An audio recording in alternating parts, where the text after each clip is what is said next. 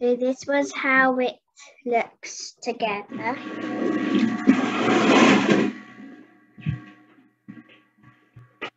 So I'm catching video at the moment.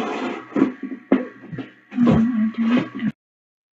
And this is uh, my video on how to make it. And in the end, it goes a little bit wrong, but the next video shows how to do it properly. Hello, I'm going to teach you how to make a Ferris wheel. It will end up looking like this. So, it'll end up looking like that. So, what you want to do first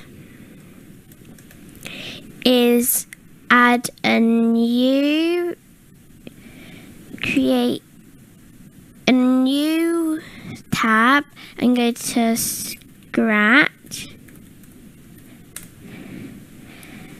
and create one. So you can leave this cat sprite there, hide it, or just delete it. So can you see the sprite button?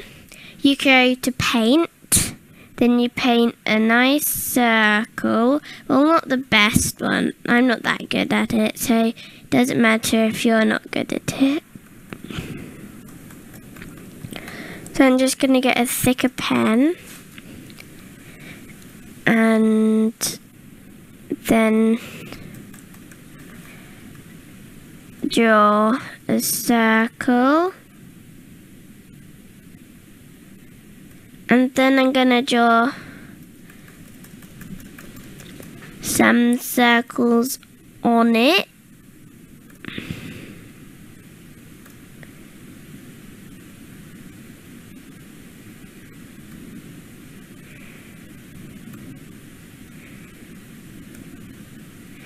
I don't know, why that one coloured itself in, but then you can colour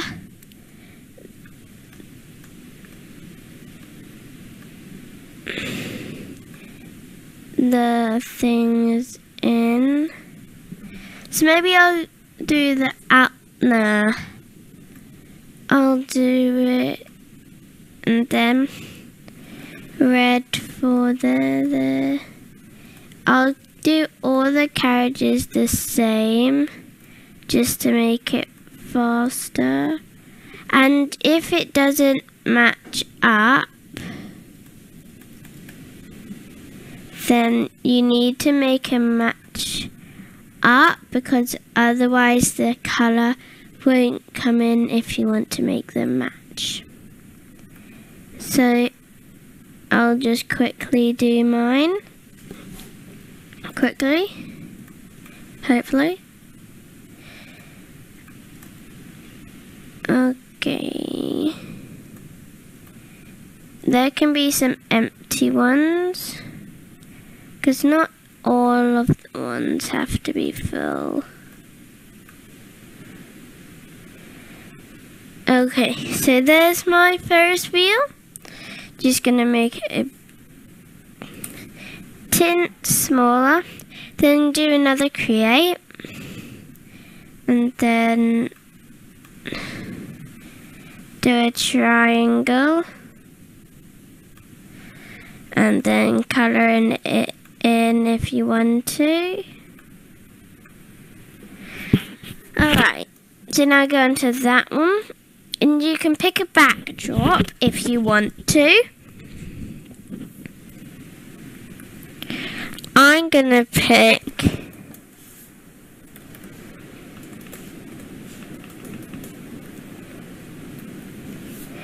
Metro. But these look a tint a bit big, don't they? So instead of this being 100, this can be 60. That looks a nice size. And maybe this one could be 75. But the thing we forgot to do with this is put the point. So we need to go back to that. Then draw with a black pen. We need to draw middle point and then up, then down, then there, then there, then there. And I'm just gonna make a point a tinsy bit dot so that shows the middle point. Right, so now we need to program this. So get the flag and we want to make it do that. I've made two different ones, this one and that one. So now it's going to be our turn. So we're going to do forever loop and then we could do.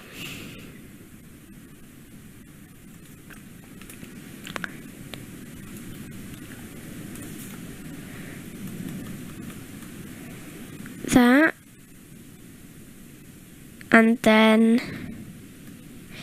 we could do that. We could do the steps thing. Or we could do so the Ferris wheel needs to be touching. The middle point needs to be touching. So we want to maybe we could do forever underneath that move 10 steps on a forever loop. So we want to get a motion which is tan 15 degrees in the middle of there. So maybe we could add forever move 10 steps. And on this one we could do a this a forever and move 10 steps. So let's see what happens. So we need to now, because now we can't see it.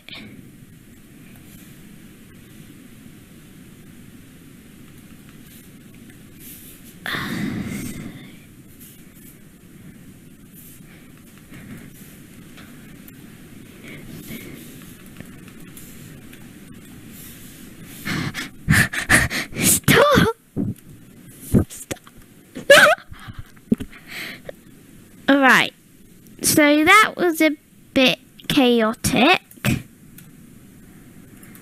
but we worked it out in the end.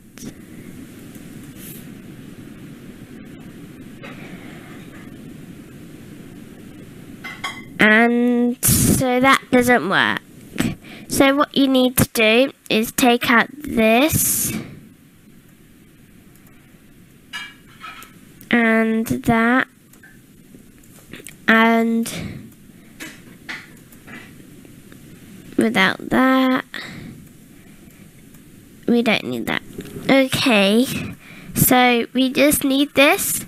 Thanks for watching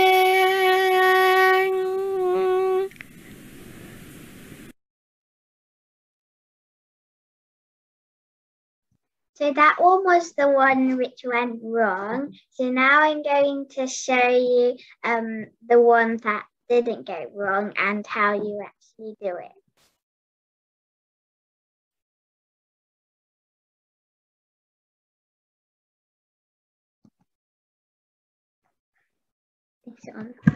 So I'm going to show you how to make this Ferris wheel. So, first what you want to do is make a sprite that looks like this and a sprite that looks like that. Then go to the Ferris wheel bit and then we're going I'm going to show you how to do it. So go to events and click and pull up when green flag is clicked. Then get the forever loop on control, go to motion and pick turn 15 degrees clockwise.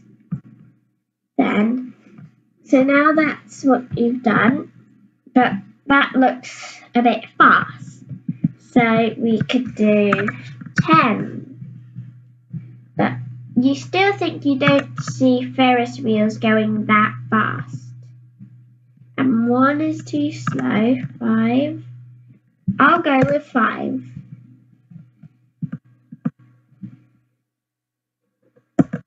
Thanks. Thank you. And, and I finished my presentation. Thank you so much, Charlotte, for that awesome presentation. Um, can I just make a comment about um, Charlotte's presentation? Uh, Charlotte, I just want to tell you how amazing that presentation was. It's just so incredible that you put so much heart into it, and then it just, it, you know, it's just so beautiful. Just want to make a comment before you continue. Thanks.